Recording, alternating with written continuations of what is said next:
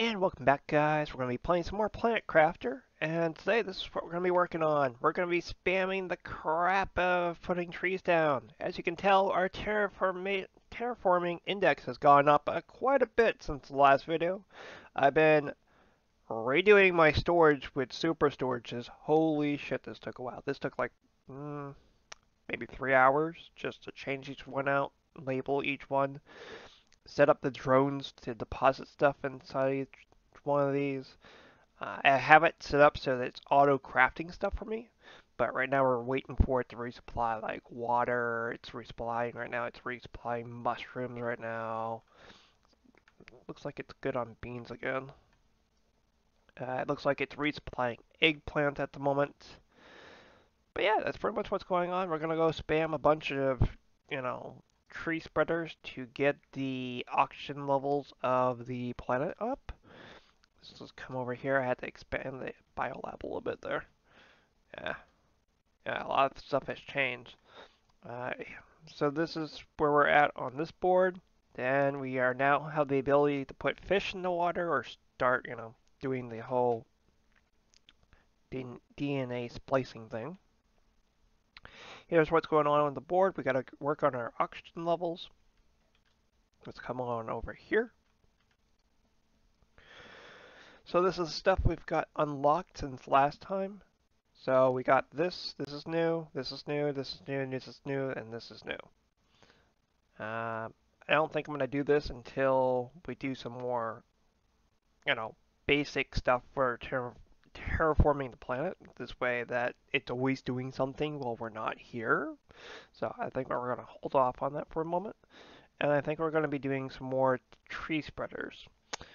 Uh, I want to get this unlocked as soon as possible. So we're going to be working on pressure stuff too. So if we come back over here, you notice that tier 5 heater, we already had this unlocked, but I already put a couple of down. We have the tier 5 drill, which I want to make quite a few of these. Look at that, 39,500 or 50 or 3,950 pressure. God damn. Uh, we have this unlocked as well. So this is this is all the stuff we unlocked. I've been spamming these around, which is getting the O2 multiplier to go way through the roof, which is good. Uh, we got tier 2 beehive, got this thing and this thing. So we got a bunch of stuff that unlocked while I was over here redoing my storage, changing it from normal storage to super storage. So that's what's going on here. So now we just got to unlock animals and we'll be all set pretty much. So over here we've got this auto crafting. It's making like rods and Ah, we do need to go check on that to see if that's overflowing yet. Eh, yeah, I'll, I'll turn that off for now. so I constantly got the drones working on stuff here. So that's pretty much what's going on with this. And then I just sell the rods when we've got too many of them. Or let's say they're constantly picking up materials from the ore extractors, I've got to constantly empty the second bin of the item that gets used the most. So that's what's going on that. Make sure to hit the like button, make sure to subscribe button. Let's get into playing some Planet Crafter.